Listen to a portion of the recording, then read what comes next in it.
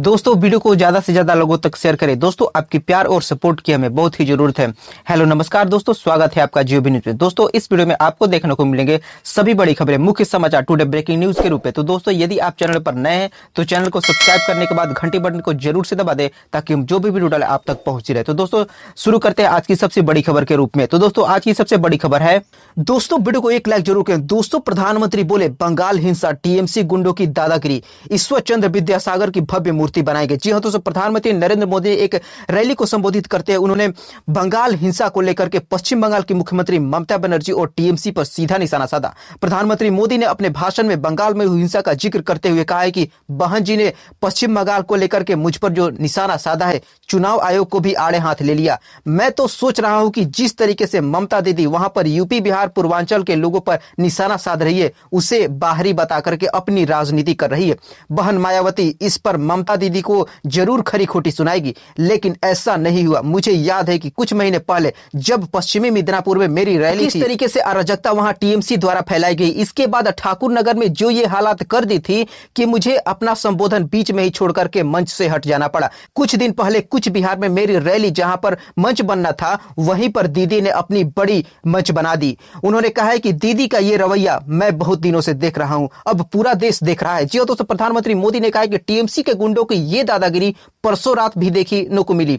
परसों रात कलकत्ता में अमित भाई मोदी के रोड शो के दौरान टीएमसी ने गुंडों ने ईश्वर चंद्र विद्यासागर की मूर्ति तोड़ दी है। ऐसा करने वालों को कठोर से कठोर सजा दी जानी चाहिए। प्रधानमंत्री मोदी ने कहा मैं ये भी कहना चाहता हूँ कि ईश्वर चंद्र विद्यासागर जी के लिए विजन के लिए समर्पित हमारी सरकार उसी जगह पर पंचधातु की एक भव्य मूर्ति का निर्माण करेगी। प्रधानमंत्री मोदी ने कहा कि ईश्वर चंद्र विद्यासागर मात्र पश्चिम बंगाल ही नहीं बल्कि भारत के महान विभूति हैं जो महान समाज सुधारक शिक्षा शास्त्री ही नहीं बल्कि गरीबों और दलितों के संरक्षक भी हैं। महिलाओं के अधिकार के लिए उन्होंने उस दौर में आवाज़ उन्होंने कहा है कि भाजपा सरकार के मूल में बंगाल की सांस्कृतिक भक्ति है। वेद से विवेकानंद तक नेताजी नेताजी सुभाष चंद्र से लेकर के श्यामा प्रसाद मुखर्जी तक हमारे चिंतन मनन को बंगाल की ऊर्जा ने ही प्रभावित किया है। इक्कीसवीं सदी में देश को एक बुलंद हौसले वाली, बहुमत वाली, मज़बूत सरकार चाहिए। प्रधानमंत्री मोदी ने कहा है कि मज़बूत सरकार ही जय जवान, जय किसान के नारे को साकार कर सकती है। मज़बूत सरकार से ही एक विकसित भारत का सपना पूरा हो सकता है। मज़बूत सरकार ही पूर्वांचल और पूर्वी भारत का विकास कर सकती है। जी हाँ दोस्तों, अगली बड़ी खबर है। हथियारों का आयात करने वाला भारत अब एक्सपोर्ट करेगा मिसाइल। जी हाँ दोस्तों, अब तक हमने बस यही सुना था कि भारत हथियारों का आयात कर रहा है। कभी मिसाइलों का तो कभी तकनीक का, अब भारत इससे उल्टा करने वाला है। जी हाँ दोस्तों, भारत अब हथियारों का निर्यात करने जा रहा है। भारत अब दक्षिण पूर्व के एशियाई देशों और खाड़ी देशों को मिसाइलों की पहली खेप का निर्यात करने जा रहा है। मिसाइलों का यह पहली खेप इसी साल में एक्सपोर्ट किया जाएगा। एक अधिकारी ने बताया कि भारत की मिसाइल तकनीक में दक्षिण पूर्व एशियाई देशों के के साथ ही खाड़ी देशों ने भी यह रुचि दिखाई है, जिसके बाद भारत ने यह फैसला लिया है। इंडेक्स एशिया 2019 एग्जीबिशन के दौरान ब्रह्मोस एरोस्पेस के H R commodore A K Iyer ने बताया है कि सरकारों के बीच करार के बाद ऐसा पहली बार होने जा रहा है कि भारत किसी को मिसाइलें निर्यात करेगा। सभी हमारी तकनीक को पसंद कर रहे हैं, वे हमारी मिसाइलों के खरीदने के लिए तत्पर हैं। जी हाँ दोस्तों, अय्यर ने बताया है कि अब बाज़ार बदल गया है। Middle East South East Asia और साउथ अमेरिका के देशों ने सक्षम, कम कीमत के साथ उपकरणों की मांग बढ़ गई है। ऐसे में भारत अपनी भूमिका को मज़बूत कर रहा है। भारत के सामने ऐसे में निर्यात करने का अच्छा अवसर मिल रहा है। जी हाँ दोस्तों, अगली बड़ी खबर, मोदी शाह से सीधे भिड़ करके फिर विपक्ष की नेता नंबर एक बन गई है ममता बनर्जी। जी हाँ दोस्तों, लोकसभा चुनाव 2019 की आखिरी जंग जो बंगाल में लड़ी जा रही है, उस पर पूरे देश की नज़र है। पश्चिम बंगाल की मुख्यमंत्री ममता बनर्जी और भारतीय जनता पार्टी के शीर्ष नेतृत्व के बीच आर पार की लड़ाई जारी है। ममता पूरे दमखम के साथ बीजेपी का सामना कर रही है तो विपक्ष की दूसरी पार्टियाँ भी उनका सामने आ रही है। जी हाँ दोस्तों, ममता से लेकर के राहुल गांधी और अखिलेश यादव ने ममता का साथ समर्थन किया है। ऐसे में चुनाव खत्म होते होते होते एक बार फिर से वही स्थिति पैदा हो जाएगी जो चुनाव से पहले हुई थी, जहाँ ममता बनर्जी के पीछे पूरा विपक्ष खड़ा था और वह अगुवाई कर रही थी। जी हाँ दोस्तों, कोलकाता में अमित शाह के रोड शो के दौरान जो बवाल हुआ है, उसके बाद चुनाव आयोग का बड़ा एक्शन सामने आया है। चुनाव आयोग ने बंगाल में प्रचार के समय को कम कर दिया है और यह आज रात दस बजे तक खत्म हो जाएगा। जिसके बाद ममता बनर्जी लगातार बीजेपी चुनाव आयोग पर निशाना साध रही है। आपको बता दें कि ममता बनर्जी केंद्र पर हमलावर हुई तो अन्य विपक्षी पार्टियाँ भी उसके साथ आ गई है। अखिलेश यादव, तेजस्वी यादव के सी चंद्रबाबू नायडू जैसे नेताओं ने उनके समर्थन में ट्वीट किया है। तो वही कांग्रेस और मायावती ने भी प्रेस कॉन्फ्रेंस करके कह दिया है कि वह इस मुद्दे पर ममता बनर्जी के साथ खड़ी है। विपक्ष की तरफ़ से एक सुर से कहा जा रहा है कि प्रधानमंत्री मोदी की रैली दिन में है, इसी वजह से इलेक्शन कमीशन ने रात में बैन लगाया है। विपक्ष जब ममता के साथ आया तो उन्होंने भी ट्वीट करके हर किसी का धन्यवाद दिया। चुनाव नतीजों से पहले विपक्ष का ये एकता भारतीय जनता पार्टी की चिंता बढ़ा सकता है। तो वहीं ममता बनर्जी को भी विपक्ष नेताओं को एक रेस में आगे खड़ा कर सकता है। जी हाँ दोस्तों, कई बार ऐसे मौके आए जहाँ पर किसी एक नेता के पीछे विपक्षी पार्टियाँ खड़ी हुई नहीं दिखी। लेकिन हर बार ममता बनर्जी ने एक मिथ्या तोड़ दी है कि पिछले कुछ दो महीने पहले ही विपक्ष को एक साथ एक मंच पर लेकर के आई थी। यह बिल्कुल वही स्थिति है जो चुनाव से पहले ऐलान हुआ था, जब ममता बनर्जी ने केंद्र सरकार के खिलाफ अपने साथ राजीव कुमार को लेकर के मोर्चा खोल दिया था। ममता बनर्जी ने केंद्र के खिलाफ बहत्तर घंटे का धारणा दिया है। उन्नीस जनवरी को ममता बनर्जी ने संयुक्त रैली में भी बुलाई थी, जिसमें बाईस विपक्षी दलों ने के चौवालीस नेता एक मंच पर थे।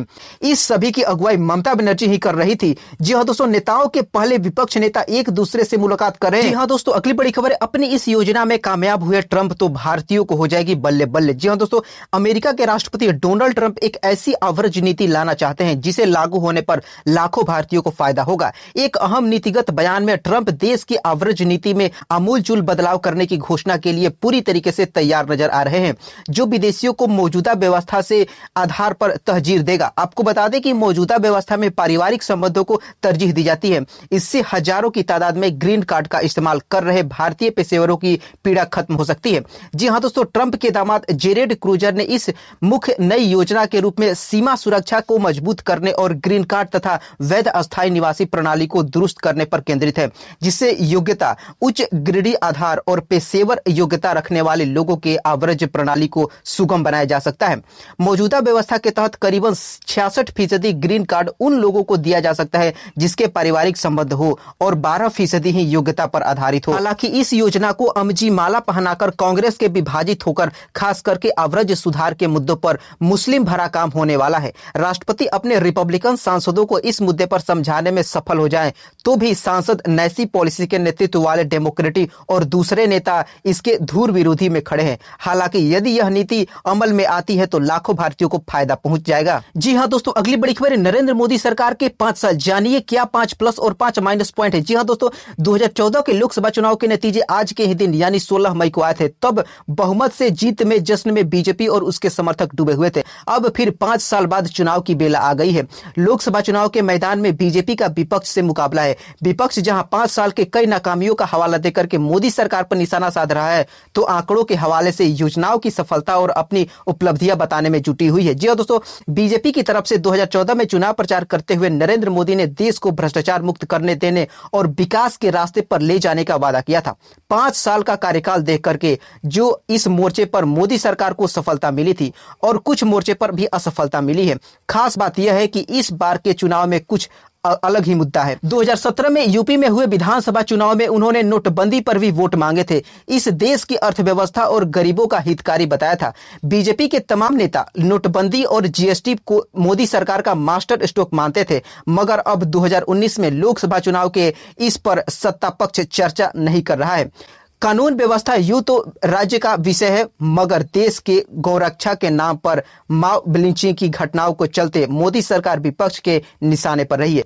वजह रही है कि ज़्यादातर राज्यों में बीजेपी की सरकार रही है। गौ रक्षकों की हिंसा पर विपक्ष मुकर होकर के सरकार पर सांप्रदायिक सौहार्द का ताना बना बिगाड़ने का आरोप लगा रही है। जी हाँ दोस्तों, आइए जानते हैं वो पाँच सफलताएँ और असफलता क्या है बीजेपी की। मोदी सरकार की यह सबसे बड़ी सफलता कही जा सकती है कि अब तक सरकार पर भ्रष्टाचार का कोई दाग नहीं है।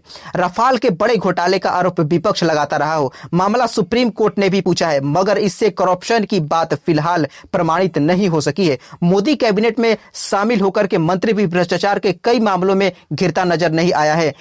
छिटपुट आरोप ज़रूर लगते हैं। वहीं यूपीए में मनमोहन सरकार ने कोयला स्पेक्ट्रम 2G कॉमनवेल्थ आदर्श स्कैम जैसे घोटाले सुर्खियों में जिसकी कीमत भी 2014 में लोकसभा चुनाव में मनमोहन सरकार को चुकानी पड़ी। नरेंद्र मोदी ने कहा है कि वर्ष 2014 में देश की जनता को बैंकिंग से जोड़ने के लिए जनधन योजना की घोषणा की गई थी। इस योजना के तहत इकतीस दशमलव तीन एक करोड़ लोगों के बैंक खाते खोले गए।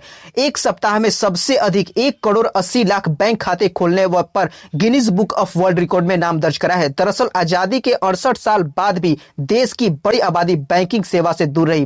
उसके बाद बचत और संस्थागत कर्ज लेने के लिए कोई ज़रिया नहीं था। प्रधानमंत्री नरेंद्र मोदी ने इसके लिए 28 अगस्त को प्रधानमंत्री जनधन योजना की शुरुआत की थी। देश में बैंक के कैंप लगा करके वंचित लोगों को खाते खोलने उन्हें बैंकिंग सुविधा से जोड़ा गया था। जी हाँ दोस्तों प्रधानमंत्री मोदी ने 15 अगस्त 2015 में लाल किले से अठारह हज़ार गाँव के बिजली पहुँचाने की घोषणा इस गाँव में आज़ादी के सात दशक बाद भी बिजली नहीं पहुँची। इसके लिए एक हज़ार दिनों का टारगेट रखा गया था। अप्रैल 2018 में तय सीमा 10 मई को 12 दिन पहले ही यह लक्ष्य हासिल कर लिया गया था। मणिपुर के सेनापति ज़िले के लिहांग की आखिरी गाँव बच गया था, जिसे अप्रैल 2018 में नेशनल पावर ग्रिड से जोड़ा गया। जी हाँ दोस्तों, गरीब भी गैस चूल्हा का खाना बना सकते हैं। इस मकसद से मोदी सरकार ने उज्ज्वला योजना लागू की। यह योजना ग्रामीण क्षेत्रों में रहने वाले उस परिवार के लिए मददगार साबित हुई, जिसके पास गैस कनेक्शन नहीं था और उन्हें खाना बनाने के लिए ज़्यादा परेशानी का सामना करना पड़ता था। योजना के तहत गरीब परिवारों को एलपीजी कनेक्शन दिया गया। ग्रामीण इलाकों में रहने वाले बीपीएल कार्ड राशन वालों को मुफ़्त सिलेंडर भी दिया गया। जी हाँ दोस्तों, प्रधानमंत्री मोदी सरकार ने स्वच्छ भारत अभियान के ज़रिए देश की जनता को स्वच्छता के प्रति जागरूक बनाने में सफल हासिलता की है। यह संदेश दिया है कि सफ़ाई सरकार की नहीं, जनता की भी ज़िम्मेदारी है। प्रधानमंत्री मोदी ने अपने कार्यकाल से पहले ही इसकी शुरुआत की थी। स्वच्छ भारत अभियान मिशन के तहत देश भर में सवा सात करोड़ टॉयलेट बनाने पर सरकार ने दावा किया है कि उसके खुले में शौच करने के लिए दिशा को बदल दिया है। दो अक्टूबर दो 2014 को देश भर में एक राष्ट्रीय आंदोलन के रूप में स्वच्छ भारत मिशन की शुरुआत की गई थी। प्रधानमंत्री नरेंद्र मोदी ने खुद मंदिर मार्ग स्थित पुलिस स्टेशन पर सफ़ाई अभियान का शुभारंभ भी किया था।